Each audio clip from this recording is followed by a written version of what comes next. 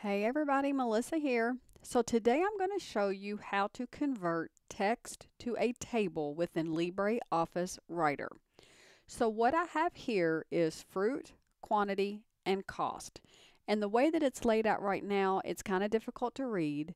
It would be difficult to add things to it. And if I wanted to do any kind of calculations, it would be really, really hard. So I want to lay it out in a table. So what I'm going to do is I'm going to highlight it I'm going to go to table and I'm going to go convert text to table. Now this box pops up and the first thing it asks us is how it's separated or how it's delimited. Well, I've done it by tabs. You can do it by semicolons, paragraph, if there's a period, spaces. However, we just need to tell it how it's separated so it knows where to split it out.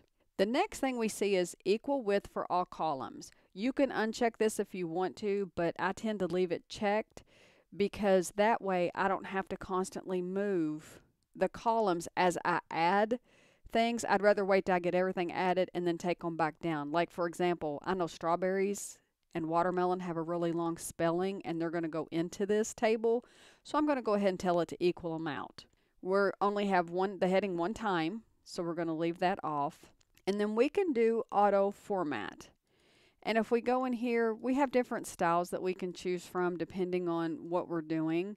Um, I'm just going to tell it none, so it just does a regular formatted table. Tell it OK, and then tell it OK.